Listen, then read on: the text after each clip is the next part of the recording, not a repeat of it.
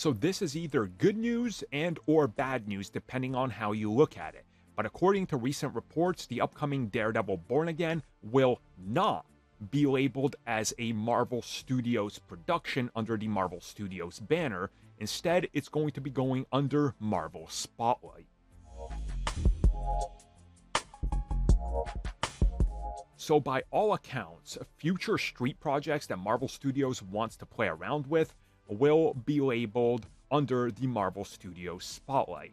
And with recent reports that Daredevil Born Again, with major changes that are being implemented by the new showrunner and the new direction, are going to make the series MA rating, aka R rated technically if it was a film, we are now hearing speculation that Marvel Studios has decided that Daredevil Born Again, while part of the MCU, will not have a Marvel Studios label on it and that this is due to the fact that it is going to be more violent and that they do want it under the Marvel Spotlight banner to clearly distinguish that this is a more violent approach to Marvel and that this isn't meant necessarily for kids that can just turn on Disney Plus. You have to enable the mature rating.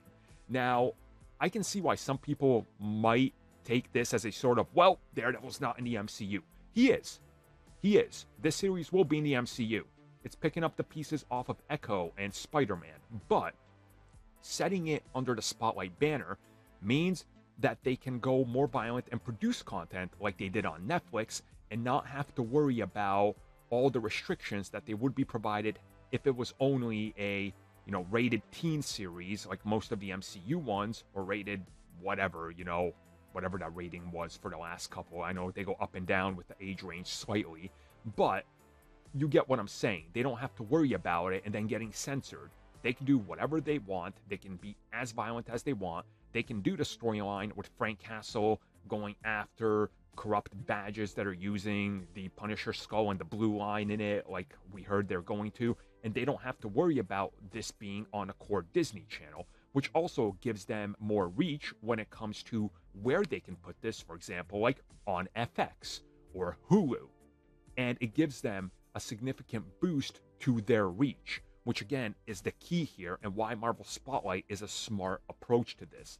They can take these series and really focus on where they fall in terms of their own structure and not have to bend over backwards to make sure that they adhere to a specific law that has to be applied to every Marvel Studios project. Which, let's be real, even as a fan of the MCU, there's projects that should have been already like this, but I guess Marvel Studios can commit to it. Now they can because they got a legit outlet. So Daredevil Born Again, not being a Marvel Studios branded thing, is honestly, I think, what everybody should want. Because it takes us back to exactly what we wanted when they announced Daredevil was happening an adult series.